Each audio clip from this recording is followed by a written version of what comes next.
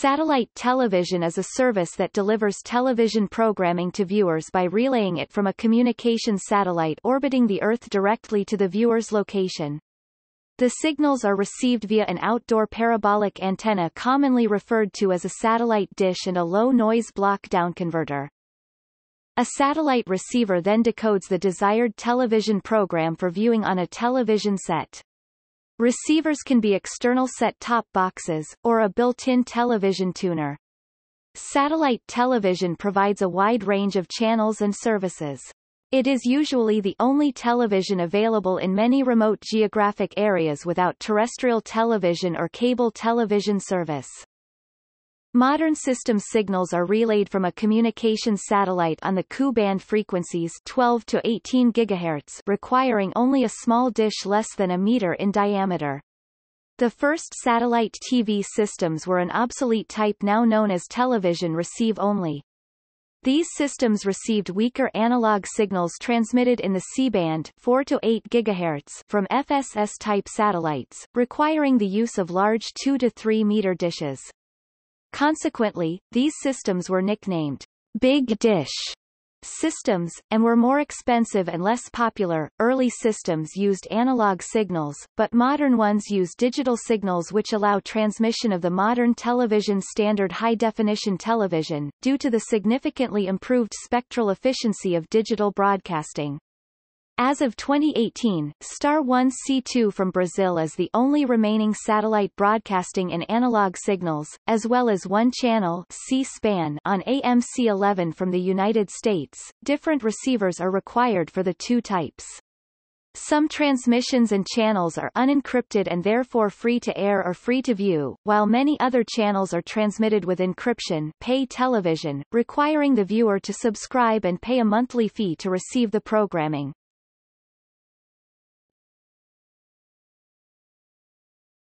Topic. Technology The satellites used for broadcasting television are usually in a geostationary orbit 37,000 kilometers 23,000 miles above the Earth's equator. The advantage of this orbit is that the satellite's orbital period equals the rotation rate of the Earth, so the satellite appears at a fixed position in the sky. Thus the satellite dish antenna which receives the signal can be aimed permanently at the location of the satellite, and does not have to track a moving satellite. A few systems instead use a highly elliptical orbit with inclination of plus, minus 63.4 degrees and orbital period of about 12 hours, known as a Molniya orbit. Satellite television, like other communications relayed by satellite, starts with a transmitting antenna located at an uplink facility. Uplink satellite dishes are very large, as much as 9 to 12 meters 30 to 40 feet in diameter. The increased diameter results in more accurate aiming and increased signal strength at the satellite. The uplink dish is pointed toward a specific satellite and the uplinked signals are transmitted within a specific frequency range, so as to be received by one of the transponders tuned to that frequency range aboard that satellite. The transponder retransmits the signals back to Earth at a different frequency a process known as translation, used to avoid interference with the uplink signal, typically in the 10.7 to 12.7 GHz band, but some still transmit in the C-band 4 to 8 GHz, Ku-band 12 to 18 GHz, or both. The leg of the signal path from the satellite to the receiving Earth station is called the downlink. A typical satellite has up to 32 Ku-band or 24 C-band transponders, or more for Ku-C hybrid satellites. Typical transponders each have a bandwidth between 27 and 50 MHz.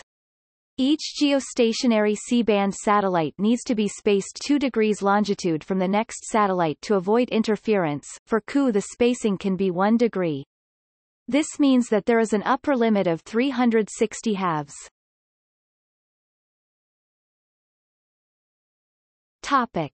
180 geostationary C-band satellites or 360 over 1 360 geostationary Ku-band satellites C-band transmission is susceptible to terrestrial interference while Ku-band transmission is affected by rain as water is an excellent absorber of microwaves at this particular frequency. The latter is even more adversely affected by ice crystals in thunder clouds. On occasion, sun outage will occur when the sun lines up directly behind the geostationary satellite to which the receiving antenna is pointed. The downlink satellite signal, quite weak after traveling the great distance see inverse square law, is collected with a parabolic receiving dish, which reflects the weak signal to the dish's focal point. Mounted on brackets at the dish's focal point is a device called a feedhorn or collector. The feedhorn is a section of waveguide with a flared front end that gathers the signals at or near the focal point and conducts them to a probe or pickup connected to a low noise block downconverter LNB. The LNB amplifies the signals and downconverts them to a lower block of intermediate frequencies if, usually in the L-band. The original C-band satellite television systems used a low-noise amplifier LNA connected to the feedhorn at the focal point of the dish. The amplified signal, still at the higher microwave frequencies, had to be fed via very expensive low-loss 50-ohm impedance gas-filled hardline coaxial cable with relatively complex end connectors to an indoor receiver or, in other designs, a downconverter, a mixer and a voltage-tuned oscillator with some filter circuitry for downconversion to an intermediate frequency. The channel selection was controlled typically by a voltage-tuned oscillator with the tuning voltage being fed via a separate cable to the head end, but this design evolved. Designs for microstrip-based converters for amateur radio frequencies were adapted for the 4 GHz C-band. Central to these designs was concept of block downconversion of a range of frequencies to a lower, more easily handled if. The advantages of using an LNB are that cheaper cable can be used to connect the indoor receiver to the satellite television dish and LNB, and that the technology for handling the signal at L-band and UHF was far cheaper than that for handling the signal at C-band frequencies. The shift to cheaper technology from the hardline and end connectors of the early C-band systems to the cheaper and simpler 75-ohm cable and F connectors allowed the early satellite television receivers to use, what were in reality, modified UHF television tuners which selected the satellite television channel for down conversion to a lower intermediate frequency centered on 70 MHz, where it was demodulated. This shift allowed the satellite television DTH industry to change from being a largely hobbyist one where only small numbers of systems costing thousands of US dollars were built, to a far more commercial one of mass production. In the United States, service providers use the intermediate frequency ranges of 950 to 2150 MHz to carry the signal from the LNBF at the dish down to the receiver. This allows for transmission of UHF signals along the same span of coaxial wire at the same time. In some applications DirecTV AU9S and AT9, ranges of the lower B-band and 2250 to 3000 MHz, are used. Newer LNBFs in use by DirecTV, called SWM single wire multiswitch, are used to implement single cable distribution and use a wider frequency range of 2 to 2150 MHz. The satellite receiver or set-top box demodulates and converts the signals to the desired form outputs for television, audio, data, etc. Often, the receiver includes the capability to selectively unscramble or decrypt the received signal to provide premium services to some subscribers. The receiver is then called an integrated receiver decoder or IRD. A low-loss cable e.g. RG6, RG11, etc., is used to connect the receiver to the LNBF or LNB. RG59 is not recommended for this application as it is not technically designed to carry frequencies above 950 MHz, but may work in some circumstances, depending on the quality of the coaxial wire, signal levels, cable length, etc. A practical problem relating to home satellite reception is that an LNB can basically only handle a single receiver. This is because the LNB is translating two different circular polarizations right hand and left hand and, in the case of K-band, two different frequency bands lower and upper to the same frequency range on the cable. Depending on which frequency and polarization a transponder is using, the satellite receiver has to switch the LNB into one of four different modes in order to receive a specific channel. This is handled by the receiver using the DISEQC protocol to control the LNB mode.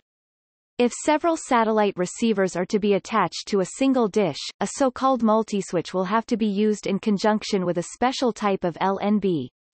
There are also LNBs available with a multiswitch already integrated. This problem becomes more complicated when several receivers are to use several dishes or several LNBs mounted in a single dish pointing to different satellites. A common solution for consumers wanting to access multiple satellites is to deploy a single dish with a single LNB and to rotate the dish using an electric motor. The axis of rotation has to be set up in the north-south direction and, depending on the geographical location of the dish, have a specific vertical tilt. Set up properly the motorized dish when turned will sweep across all possible positions for satellites lined up along the geostationary orbit directly above the equator. The disk will then be capable of receiving any geostationary satellite that is visible at the specific location, i.e. that is above the horizon. The DISEQC protocol has been extended to encompass commands for steering dish rotors. There are five major components in a satellite system, the programming source, the broadcast center, the satellite, the satellite dish, and the receiver. Direct broadcast Satellites used for transmission of satellite television signals are generally in geostationary orbit 37,000 kilometers 23,000 miles above the Earth's equator. The reason for using this orbit is that the satellite circles the Earth at the same rate as the Earth rotates, so the satellite appears at a fixed point in the sky. Thus satellite dishes can be aimed permanently at that point, and don't need a tracking system to turn to follow a moving satellite. A few satellite TV systems use satellites in a Molniya orbit, a highly elliptical orbit with inclination of plus or minus 63.4 degrees and orbital period of about 12 hours. Satellite television, like other communications relayed by satellite, starts with a transmitting antenna located at an uplink facility. Uplink facilities transmit the signal to the satellite over a narrow beam of microwaves, typically in the C-band frequency range due to its resistance to rain fade. Uplink satellite dishes are very large, often as much as 9 to 12 meters 30 to 40 feet in diameter to achieve accurate aiming and increased signal strength at the satellite, to improve reliability. The uplink dish is pointed toward a specific satellite and the uplinked signals are transmitted within a specific frequency range, so as to be received by one of the transponders tuned to that frequency range aboard that satellite. The transponder then converts the signals to Ku-band, a process known as translation, and transmits them back to Earth to be received by home satellite stations. The downlinked satellite signal, weaker after traveling the great distance see inverse square law, is collected by using a rooftop parabolic receiving dish, satellite dish, which reflects the weak signal to the dish's focal point. Mounted on brackets at the dish's focal point is a feedhorn which passes the signals through a waveguide to a device called a low noise block converter LNB or low noise converter LNC attached to the horn. The LNB amplifies the weak signals, filters the block of frequencies in which the satellite television signals are transmitted, and converts the block of frequencies to a lower frequency range in the L-band range. The signal is then passed through a coaxial cable into the residence to the satellite television receiver, a set-top box next to the television. The reason for using the LNB to do the frequency translation at the dish is so that the signal can be carried into the residence using cheap coaxial cable. To transport the signal into the house at its original Ku-band microwave frequency would require an expensive waveguide, a metal pipe to carry the radio waves. The cable connecting the receiver to the LNB are of the low-loss type RG6, quad shield RG6, or RG11. RG59 is not recommended for this application as it is not technically designed to carry frequencies above 950 MHz, but will work in many circumstances, depending on the quality of the coaxial wire. The shift to more affordable technology from the 50-ohm impedance cable and end connectors of the early C-band systems to the cheaper 75-ohm technology and F connectors allowed the early satellite television receivers to use, what were in reality, modified UHF television tuners which selected the satellite television channel for down conversion to another lower intermediate frequency centered on 70 MHz where it was demodulated, and LNB can only handle a single receiver, this is due to the fact that the LNB is mapping two different circular polarizations, right hand and left hand, and in the case of the Ku band two different reception bands, lower and upper, to one and the same frequency band on the cable, and is a practical problem for home satellite reception. Depending on which frequency a transponder is transmitting at and on what polarization it is using, the satellite receiver has to switch the LNB into one of four different modes in order to receive a specific desired program on a specific transponder. The receiver uses the DISEQC protocol to control the LNB mode, which handles this. If several satellite receivers are to be attached to a single dish a so-called multiswitch must be used in conjunction with a special type of LNB. There are also LNBs available with a multiswitch already integrated. This problem becomes more complicated when several receivers use several dishes or several LNBs mounted in a single dish are aimed at different satellites. The set-top box selects the channel desired by the user by filtering that channel from the multiple channels received from the satellite, converts the signal to a lower intermediate frequency, decrypts the encrypted signal, demodulates the radio signal and sends the resulting video signal to the television through a cable. To decrypt the signal the receiver box must be activated by the satellite company. If the customer fails to pay his monthly bill the box is deactivated by a signal from the company, and the system will not work until the company reactivates it. Some receivers are capable of decrypting the received signal itself. These receivers are called Integrated Receiver Decoders or IRDs. Analog television which was distributed via satellite was usually sent scrambled or unscrambled in NTSC, PAL, or SECAM television broadcast standards. The analog signal is frequency modulated and is converted from an FM signal to what is referred to as baseband. This baseband comprises the video signal and the audio subcarriers. The audio subcarrier is further demodulated to provide a raw audio signal. Later signals were digitized television signal or multiplex of signals, typically QPSK. In general, digital television, including that transmitted via satellites, is based on open standards such as MPEG and DVB-S, DVB-S2 or ISDBS. The conditional access encryption, scrambling methods include NDS, BIS, Conax, DigiCipher, Irdeto, CryptoWorks, DigiCrypt, Beta Digital, SECA MediaGuard, Logiways, Nagravision, PowerVu, Viaccess, VideoCipher, and VideoGuard. Many conditional access systems have been compromised. Topic. Sun outage An event called sun outage occurs when the sun lines up directly behind the satellite in the field of view of the receiving satellite dish.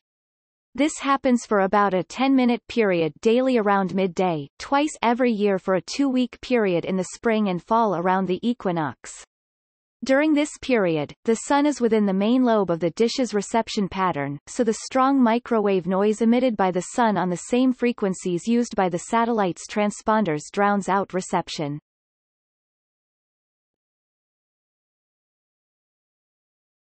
Topic. Uses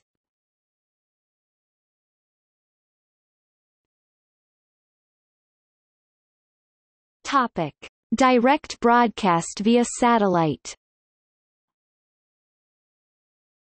Direct-to-home DTH-TV can either refer to the communications satellites themselves that deliver service or the actual television service. Most satellite television customers in developed television markets get their programming through a direct broadcast satellite provider.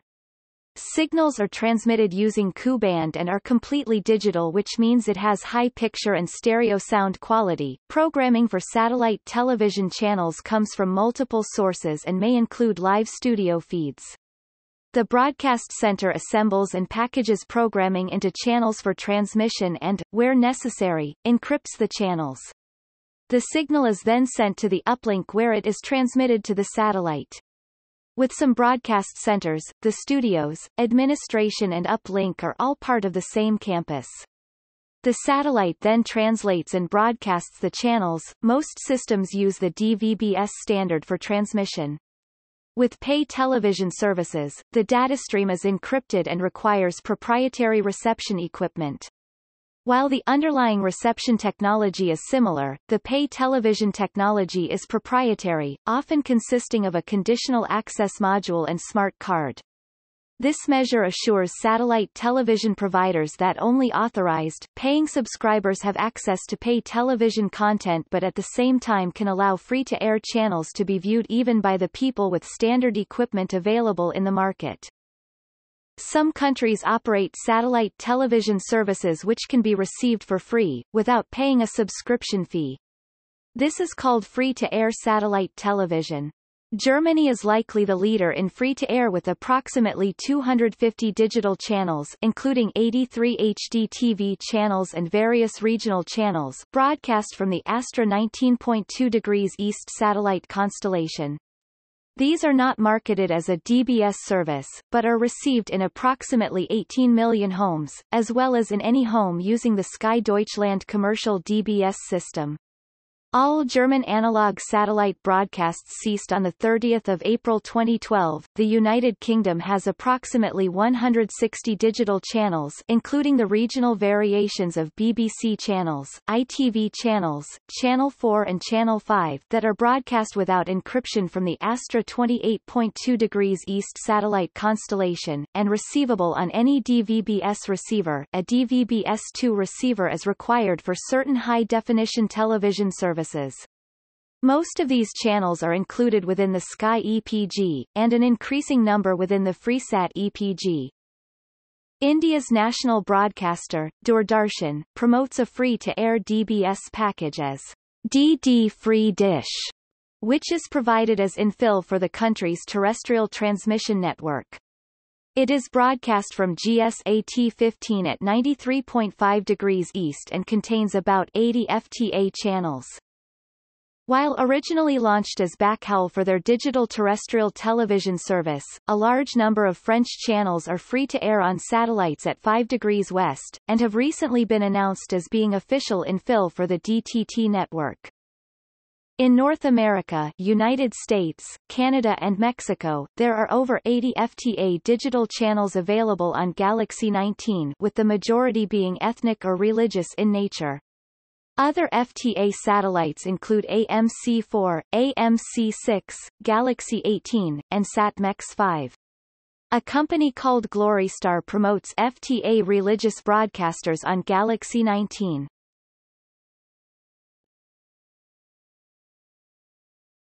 Topic. Television receive only The term television receive only, or TVRO, arose during the early days of satellite television reception to differentiate it from commercial satellite television uplink and downlink operations transmit and receive.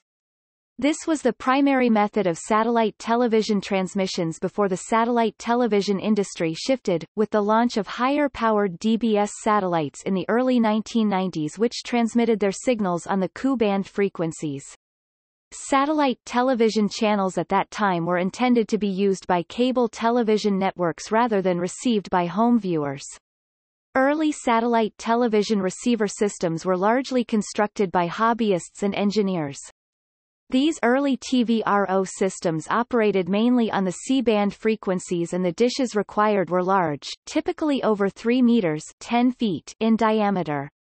Consequently, TVRO is often referred to as Big Dish or Big Ugly Dish, BUD satellite television. TVRO systems were designed to receive analog and digital satellite feeds of both television or audio from both C-band and Ku-band transponders on FSS-type satellites. The higher frequency Ku-band systems tend to resemble DBS systems and can use a smaller dish antenna because of the higher power transmissions and greater antenna gain. TVRO systems tend to use larger rather than smaller satellite dish antennas, since it is more likely that the owner of a TVRO system would have a C-band only setup rather than a Ku-band only setup.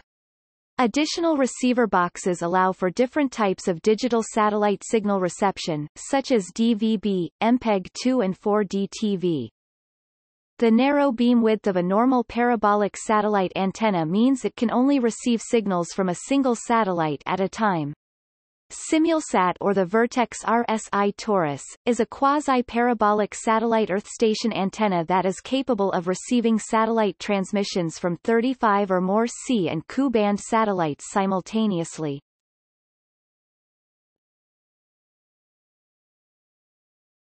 Topic.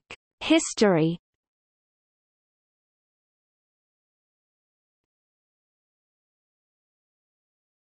Topic. Early history In 1945 British science fiction writer Arthur C. Clarke proposed a worldwide communications system which would function by means of three satellites equally spaced apart in Earth orbit. This was published in the October 1945 issue of the Wireless World magazine and won him the Franklin Institute's Stuart Ballantine Medal in 1963. The first public satellite television signals from Europe to North America were relayed via the Telstar satellite over the Atlantic Ocean on 23 July 1962, although a test broadcast had taken place almost two weeks earlier on the 11th of July. The signals were received and broadcast in North American and European countries and watched by over 100 million. Launched in 1962, the Relay 1 satellite was the first satellite to transmit television signals from the U.S. to Japan. The first geosynchronous communication satellite, Syncom-2, was launched on 26 July 1963, the world's first commercial communication satellite, called Intelsat I and nicknamed Early Bird was launched into geosynchronous orbit on April 6, 1965.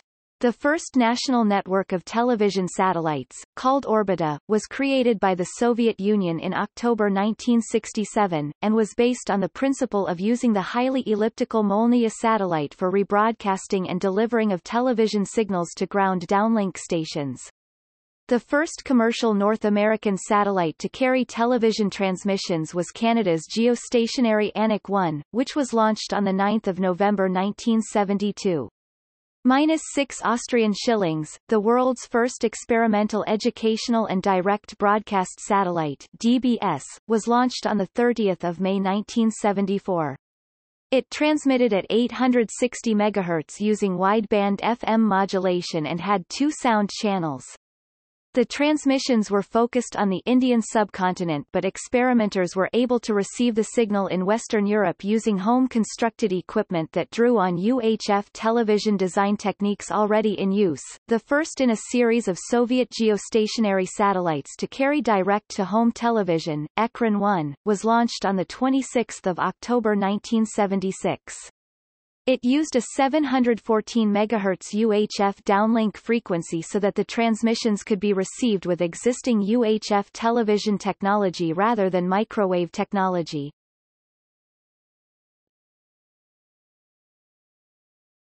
Topic. Beginning of the satellite TV industry, 1976 to 1980 The satellite television industry developed first in the U.S. from the cable television industry as communication satellites were being used to distribute television programming to remote cable television headends.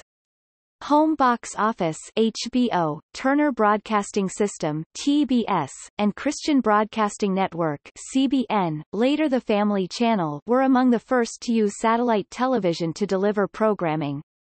Taylor Howard of San Andreas, California became the first person to receive C-band satellite signals with his home-built system in 1976. In the U.S., PBS, a nonprofit public broadcasting service, began to distribute its television programming by satellite in 1978. In 1979, Soviet engineers developed the Moskva or Moscow system of broadcasting and delivering of TV signals via satellites. They launched the Gorizont communication satellites later that same year. These satellites used geostationary orbits. They were equipped with powerful onboard transponders, so the size of receiving parabolic antennas of downlink stations was reduced to 4 and 2.5 meters. On October 18, 1979, the Federal Communications Commission FCC began allowing people to have home satellite Earth stations without a federal government license. The front cover of the 1979 Neiman Marcus Christmas catalog featured the first home satellite TV stations on sale for $36,500. The dishes were nearly 20 feet 6.1 meters in diameter and were remote-controlled. The price went down by half soon after that, but there were only eight more channels. The Society for Private and Commercial Earth Stations SPACE, an organization which represented consumers and satellite TV system owners, was established in 1980. Early satellite television systems were not very popular due to their expense and large dish size. The satellite television dishes of the systems in the late 1970s and early 1980s were 10 to 16 feet 3.0 to 4.9 meters in diameter, made of fiberglass or solid aluminum or steel, and in the United States cost more than $5,000, sometimes as much as $10,000. Programming sent from ground stations was relayed from 18 satellites in geostationary orbit located 22,300 miles 35,900 kilometers above the Earth.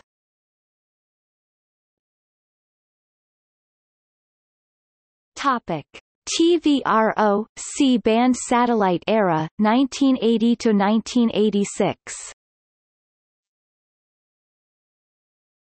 By 1980, satellite television was well established in the USA and Europe. On 26 April 1982, the first satellite channel in the UK, Satellite Television Limited later Sky One, was launched. Its signals were transmitted from the ESA's orbital test satellites. Between 1981 and 1985, TVRO system sales rates increased as prices fell. Advances in receiver technology and the use of gallium arsenide FET technology enabled the use of smaller dishes. 500,000 systems, some costing as little as $2,000, were sold in the U.S. in 1984. Dishes pointing to one satellite were even cheaper. People in areas without local broadcast stations or cable television service could obtain good quality reception with no monthly fees.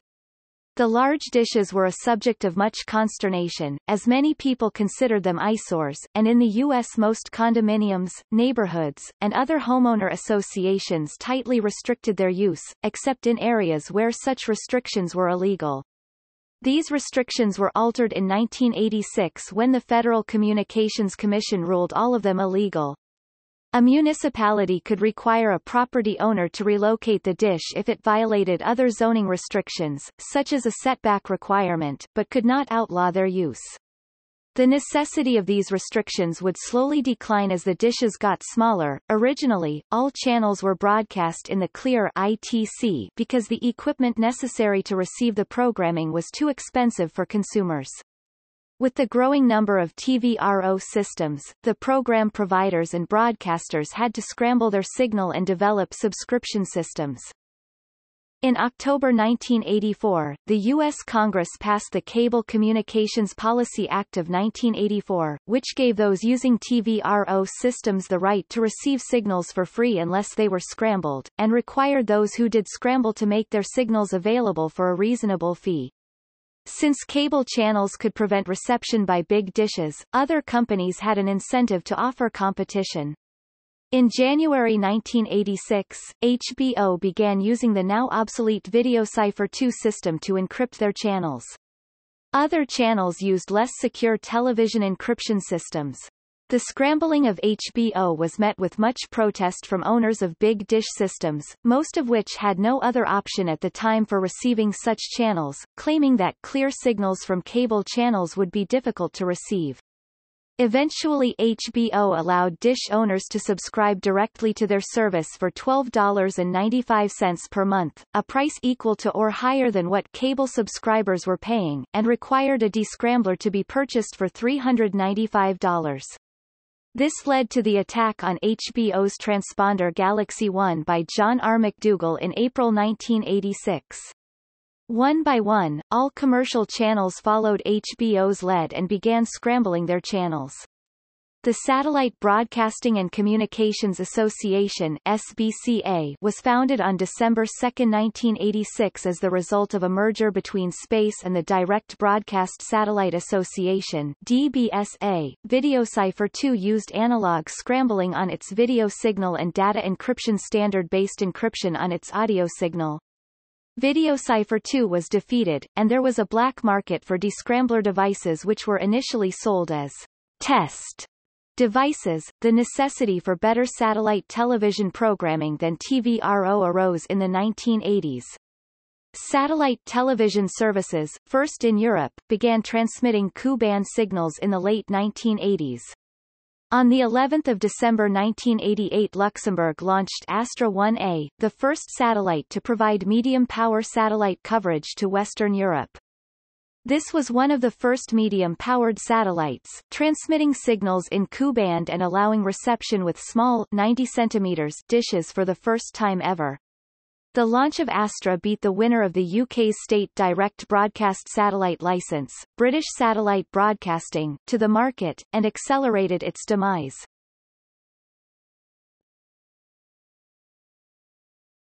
Topic. 1990s to present By 1987, nine channels were scrambled, but 99 others were available free to air. While HBO initially charged a monthly fee of $19.95, soon it became possible to unscramble all channels for $200 a year.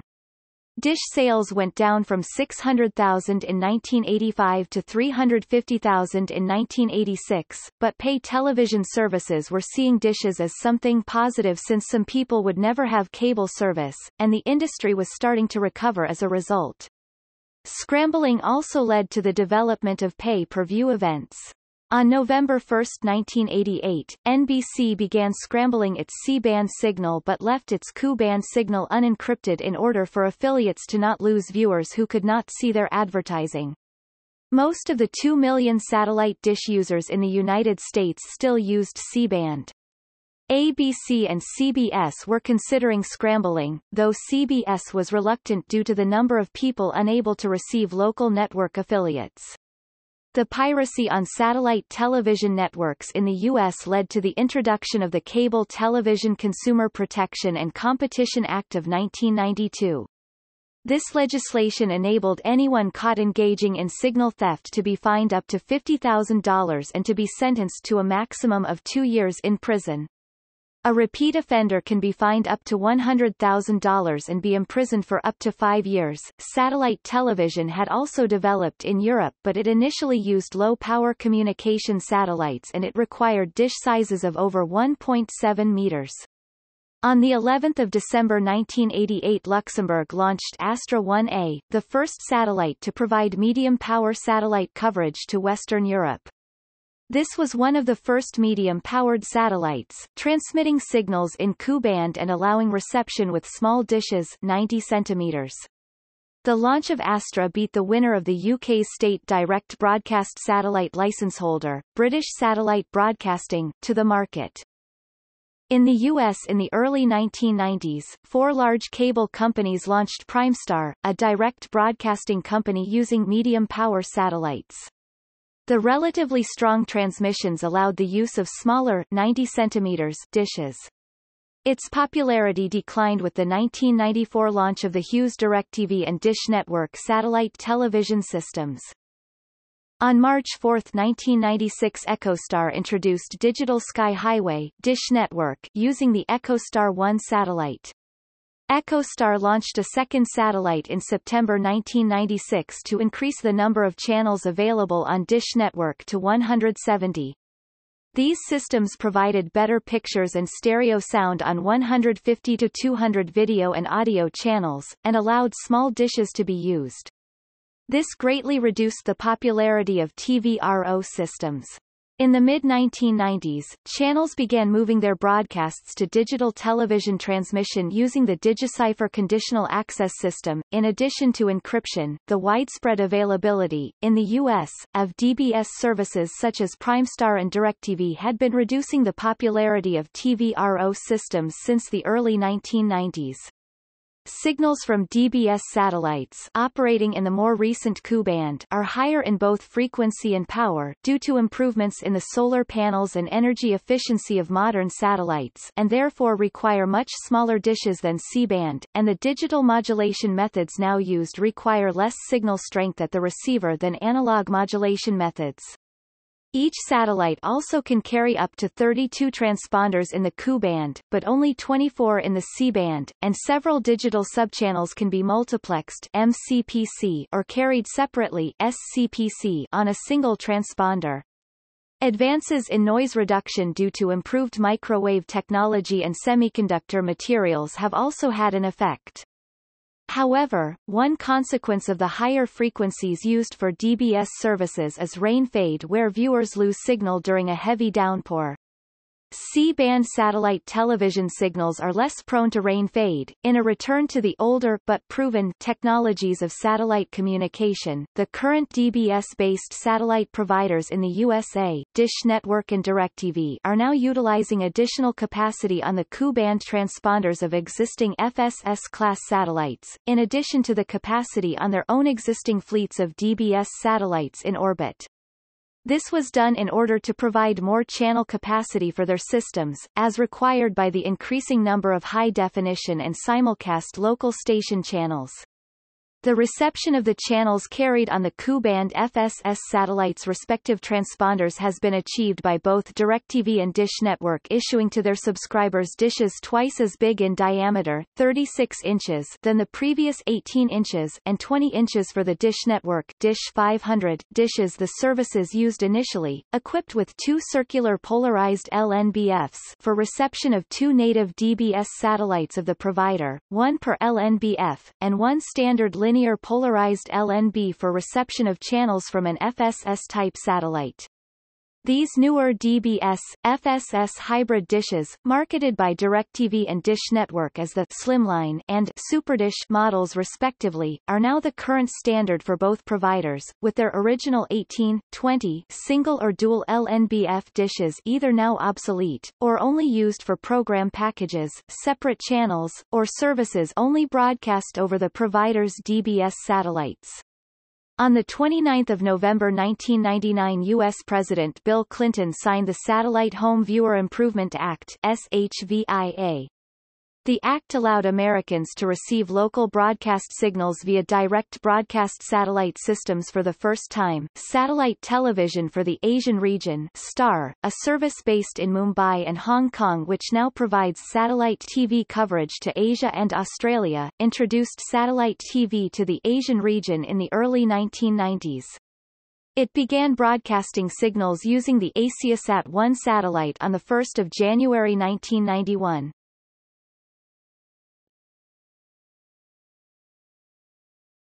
Topic. See also. FreeSat. Dish TV Dish Home. List of direct broadcast satellite providers. Television receive only. Satellite television by region. Commercialization of space. Free-to-air. Microwave antenna. Molniya orbit Satellite dish. Satellite subcarrier audio. Smart TV, provides television via Internet connection. SMA TV Television antenna